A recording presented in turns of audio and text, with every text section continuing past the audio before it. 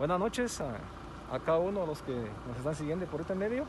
Policía Nacional Civil realiza operativos como ley seca, despistolización con la finalidad de cumplir con las normas establecidas según el acuerdo gobernativo 151-2020.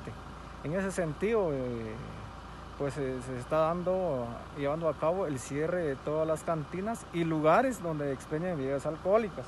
¿En qué sentido? Esto para prevenir no solo hechos delincuenciales, sino que para cumplir las normas de higiene y de prevención del COVID-19 en esta hora. Cumplir, cumplir con el mandato constitucional y cumplir con las normas establecidas en nuestro país. Policía Nacional Civil está llevando a cabo eh, registro eh, de, lugares, de tiendas, negocios, eh, restaurantes, para que ellos cumplan también con las normas sanitarias. ¿Se continuará con estos, este tipo de Claro que sí, nosotros eh, pues eh, todos los días, máxime, máxime, los fines de semana, que donde haya más afluencias de personas que se dedican pues a ingerir licor, y haciendo la recomendación a las personas que, que cumplan con lo establecido.